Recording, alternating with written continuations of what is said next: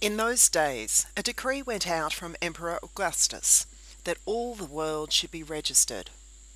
All went to their own towns to be registered. Joseph also went from the town of Nazareth in Galilee to Judea, to the city of David called Bethlehem, because he was descended from the house and family of David.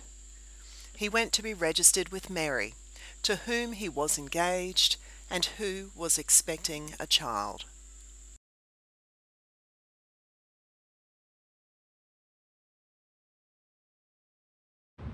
In those days, a decree went out from Emperor Augustus that all the world should be registered. That's part of the story told in the Gospel of Luke about how Mary and Joseph ended up on the road to Bethlehem, where the baby Jesus was born. What was going on with that story of a census? Well, the Roman emperor was wanting to count the people for tax purposes and to mobilize the army draft, or so the story goes. This was about maintaining control and keeping that Roman machinery of power turning. But there are other reasons for conducting a survey of who might live in your local area. When we think about the people who live around us, their lives, their work, and here we are on busy High Street in Toowong, we might discover that we really don't know who all of our neighbours are. So we thought we would find someone who had already done a lot of research about who lives in our neighbourhood and see what he thinks. We have Michael Berkman here, who is our local member for Maiwar. Let's go and chat. Hi there. Hi, Michael. Good to see you. Thank you for Too, taking the time. Uh, it's a pleasure. We wanted to know why you think it's important for you to have information about people who live in your electorate. Well, for me personally, it's quite literally my job. Um, I there's no way I can do this work and represent the community that, that I'm, you know, that I'm elected to represent without actually knowing what matters to them. Um, what are the issues that they face in their daily lives, and and you know how can governments work to actually meet those you know those basic needs and actually do the things that are important for them. So, you know that's that's kind of peculiar to me in my role in some ways, but I think just knowing who's around us, where they're at in life, is really important to have good, you know, well integrated communities and, um, you know, and to have that, that sense of belonging in amongst not just the physical space we live in, but, but you know, that community, that, that human community. Yeah. Yeah. So, what do you think are some of the challenges for people in our local area? Yeah, that's a good question because we, I mean, obviously we can recognise that this is, you know, by most measures, a, a pretty lucky area. You know, we're a, we're a largely a wealthy area. You know, we don't struggle for a lot of, you know, our day to day needs, but there are obviously still people in our immediate surrounds in this community right here who do still struggle with those things. So I think, you know, despite the general demographics of the area, you know, those same things, you know, the basics that people struggle with are, are, are real issues for a lot of people um, here in Maiwar. Um, I mean, there are there are you know particular issues that come with being in an inner urban area as well. You know, it's it's the traffic here on High Street, the developments going up around every street corner. There's those sorts of things as well. But um, but I think it's really important to remember that you know that the basics really matter for for people right across you know Brisbane and Queensland. Good. Where do you see communities in our area working well as community? You mentioned it's not just about about the, the physical nature of the community, it's actually how the community and the relationships work. So where do you see our community working well as community?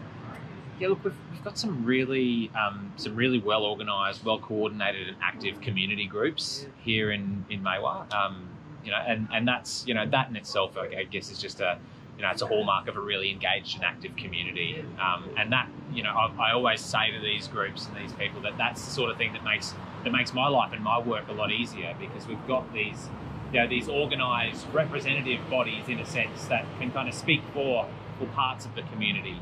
Um, and I think as well, like, you know, we met not too long ago with, with, with a bunch of church leaders as well. So having seen these different institutions and corners of the community that are already kind of organising themselves um, is something that's really valuable, and that's certainly certainly for me, and I think for the you know for the broader broader community around here. Excellent. Yeah. And so, you know, it's interesting. I wonder sometimes if we do know our neighbours, how well do you think people in our area know their neighbours?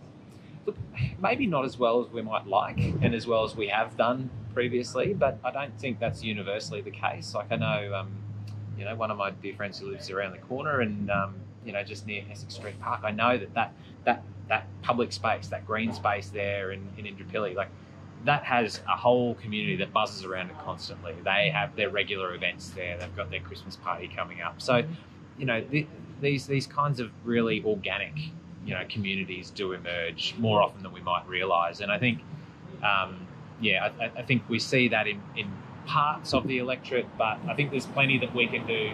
You know, as, as leaders in the community and as elected representatives, there's more we can do to help foster that kind of autonomous growth of community. I wonder, Michael, do you have a story about a time in our local area when neighbours have really, whether by circumstance or things that have thrown them together, got to know each other better?